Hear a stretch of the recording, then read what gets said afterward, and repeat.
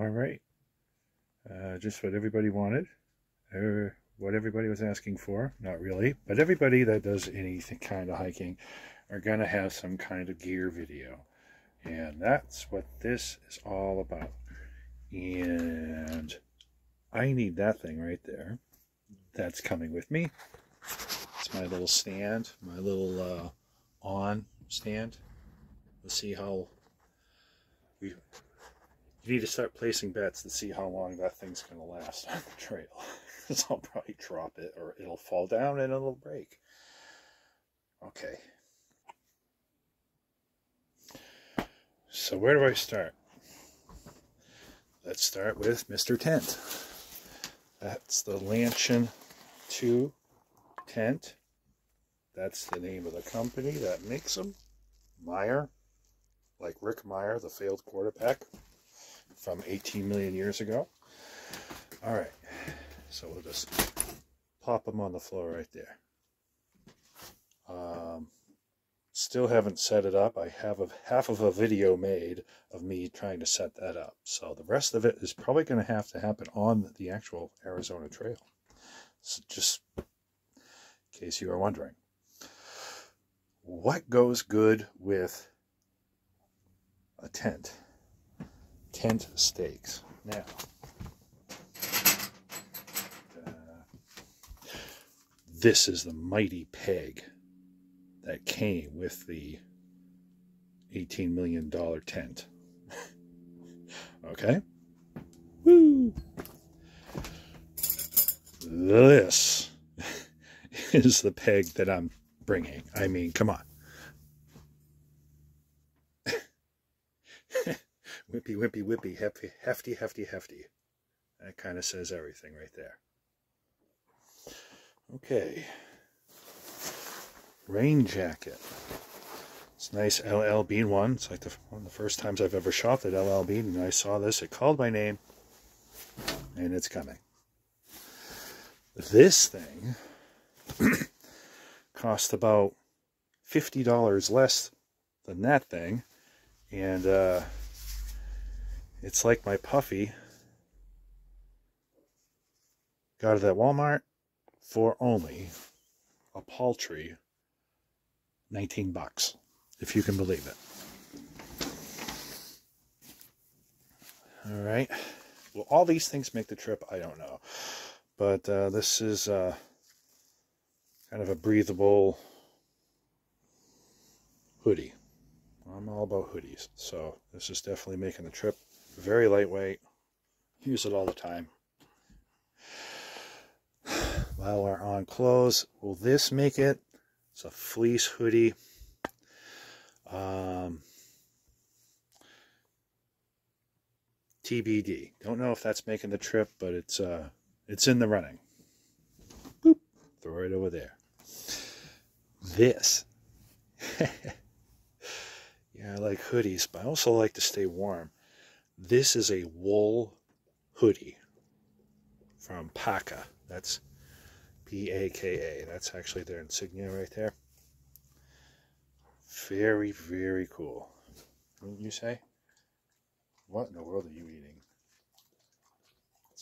I probably don't want to know. Okay. My boy. My boy, my boy, my boy. This is obviously an Osprey, as you can see if you turn your video upside down the Exos 48. This has already seen quite a bit of service. Um, I did the Northwoods Loop Trail, now called the Moosehead Loop Trail, because my girlfriend is a girl and she's always right.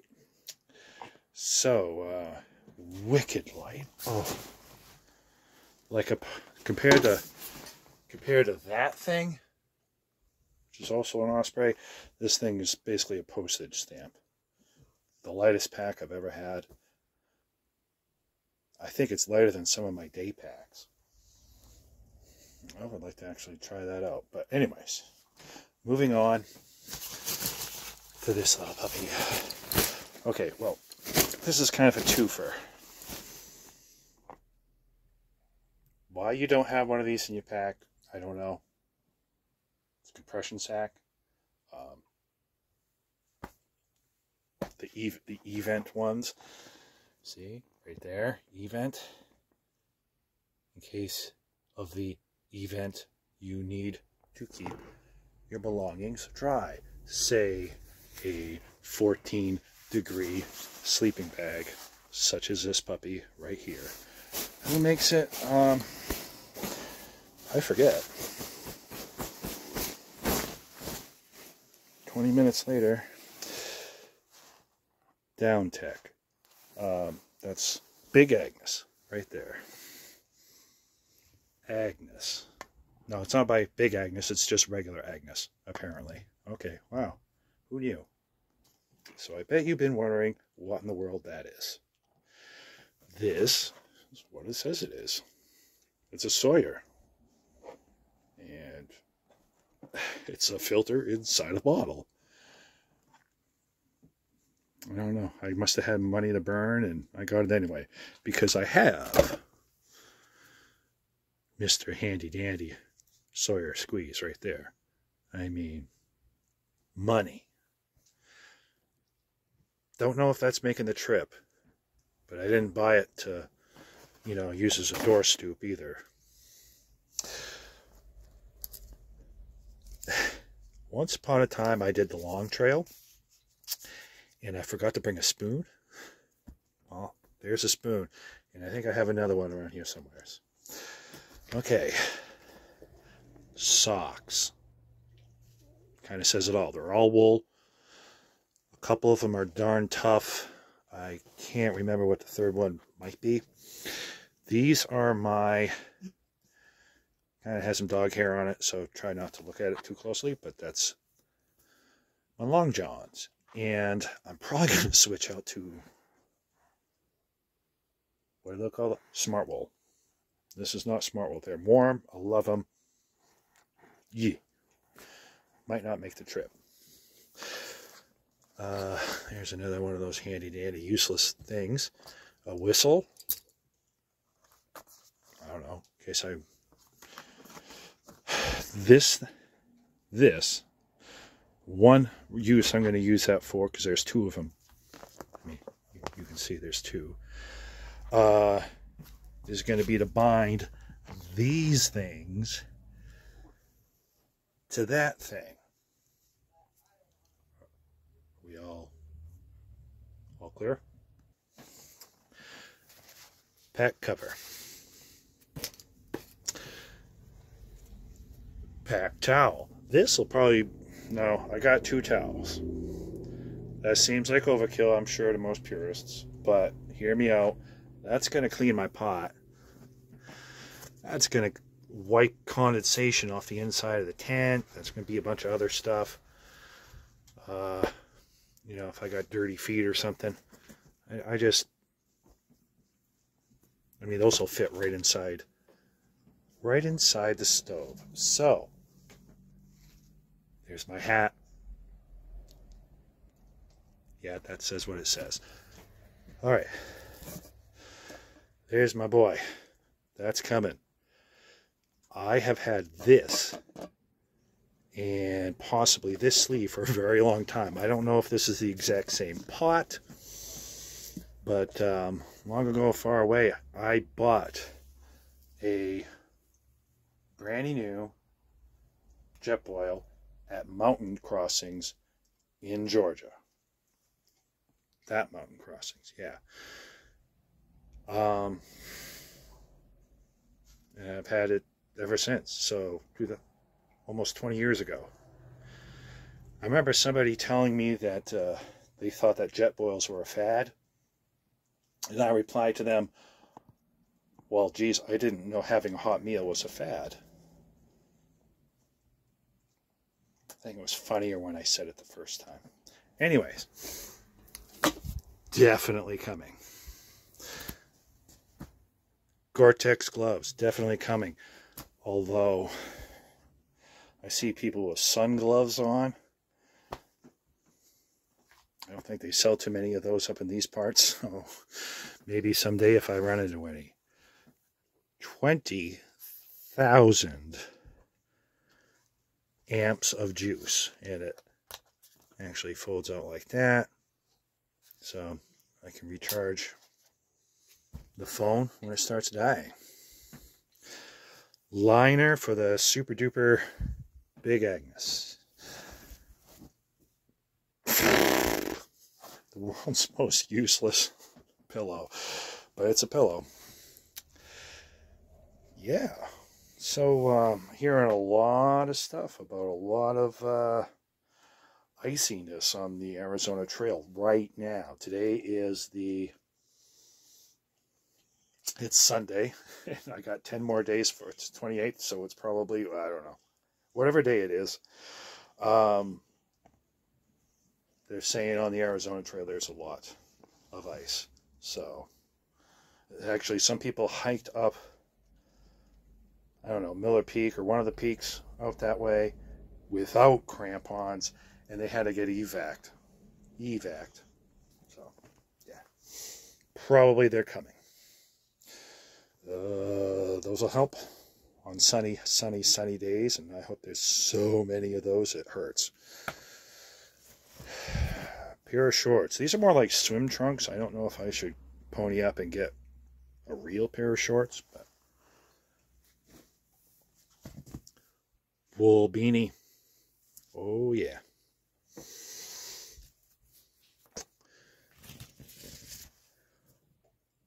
Putzel. Headlamp. Super duper belt. I take this to work with me. I mean, I've had this for probably two years now. So it's definitely going on the trail. So it can help me keep those guys from falling down. Because those are pants. What else? All right, the Lanshan 2. The Lanshan 2 is a trekking pole tent, which means it doesn't have any interior stuff. You got to bring some kind of something. These, those guys right there, uh, to help prop up the tent. And uh, I already own, they were free, they were comped, whatever, uh, pair of trekking poles, and I've had them since I did the long trail, and they, I think they're fantastic, but they're old, and I need something that can consistently, you know, pull out and not all of a sudden sink in in the middle of the night, which is what I think those could do, so I wanted something brand new, so ponied up for the Komperdells. Okay, Thermarest. Yeah, I have a inflatable Thermarest. Someone's going to have to talk me out of not bringing it because I'm pretty sure I'm going to be bringing it. Lastly, the ass pad. You know who Darwin is. Well, he says, bring an ass pad. So, yeah. You know, it's just something to sit on that could also definitely be uh, used as a makeshift pillow or if I need a, a more padding under my uh, cheap ass pillow right there, I just that thing just ugh, I don't know. But yeah, ass pad. What a great way to end the video with an ass pad. Um, but boy, those are going to be super duper warm sitting on that on a cold day, having lunch when there's two feet of snow all around. That'll come in mighty handy. And it beats having to unravel that from the top of the pack or bottom of the pack or wherever the hell it's going to be. Yeah. Okay. Thanks for watching. Now I'm going to pack all this stuff. And I'm going to go hike a mountain. Shh, don't tell anybody.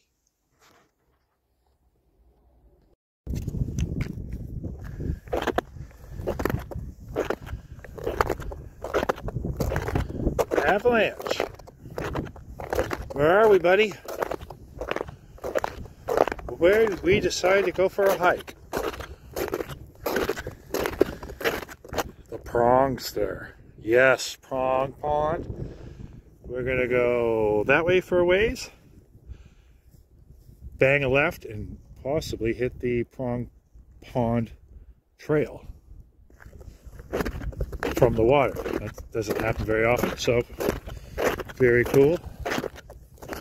A lot of uh, deer traffic.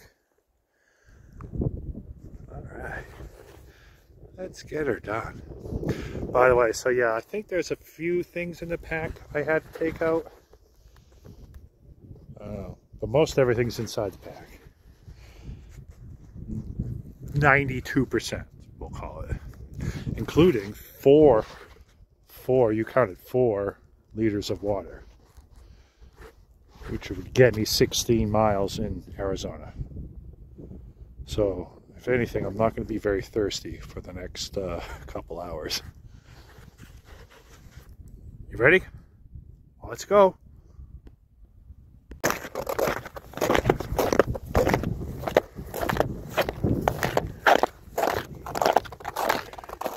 lot of deer traffic. There's our island of red pines right there. We're going to get on that here in just a few minutes.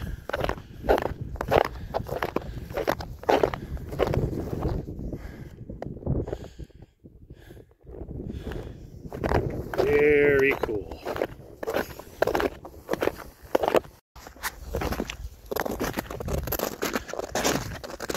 Avalanche.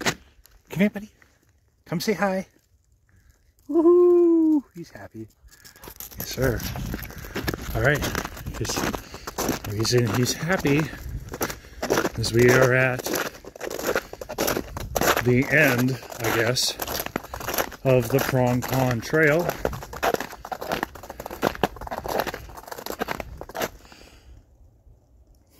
So, let's go see what it looks like. Beautiful place for a campsite. There, obviously, there is a campsite here.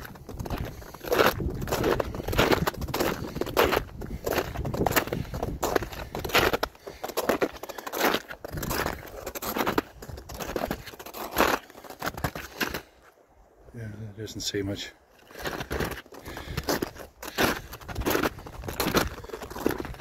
And neither does that. Avalanche! Hey, buddy! Come on, let's go! Here he comes. Shot out of a cannon. Five, four, three, two, one, landfall. Yes, good boy. All right, are we ready?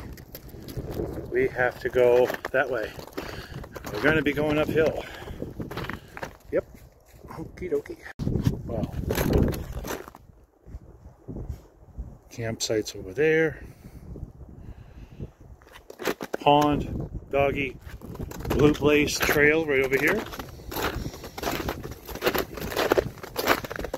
There's a bit of a gap for whatever reason between the blazes and the campsite. Not 100% sure why, but I can tell you the water is fairly deep over there. I swam there one year. Did the trail, came right down. Boop. Pretty as you please. You ready? Might be breaking trail. You think? All right.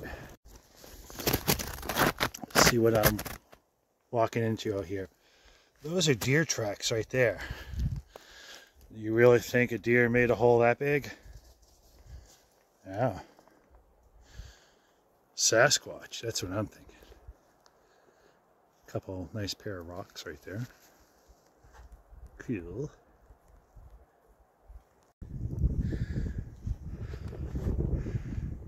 Abby, come here. Come say hi. You're, you're the hero of the movie, yeah. We ready? You having a afternoon snack?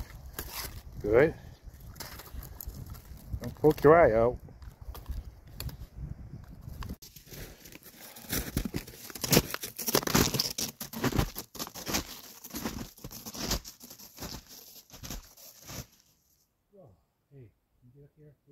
That's a long way down.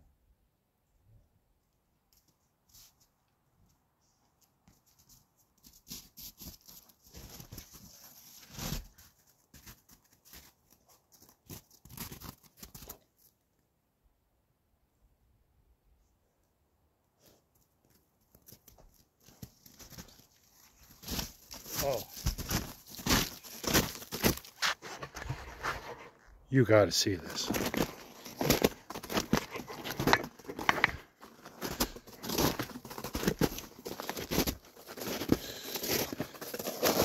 One thing, yeah, it is a long way down.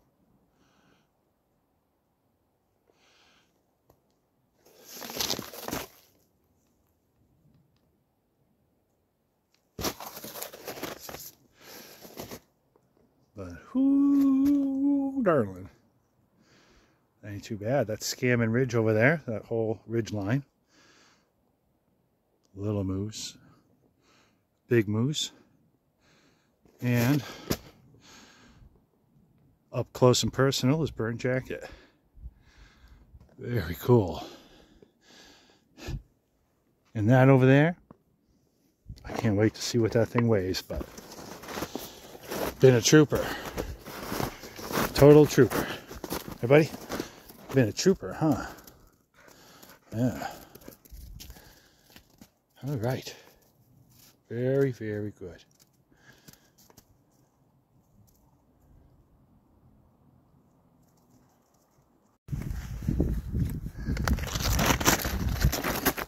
Keep uh, getting wrapped up in following deer tracks. And of course, the dog is following the deer tracks. But I forget to go after the blue tracks. So, yeah. Not that I'm worried about getting lost, but jeepers. supposed to be hiking the trail, buddy, not the deer trail. Come on, what are you doing?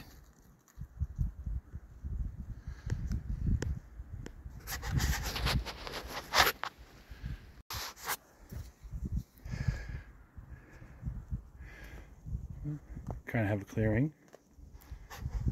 Kind of on top of a ridge. Definitely on top of a ridge.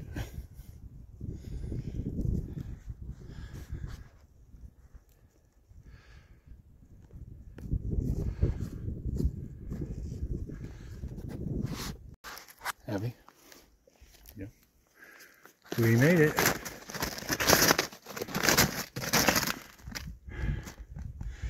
Very cool trail. And and the pond was pretty cool too. The color doesn't really let you see it. Safety.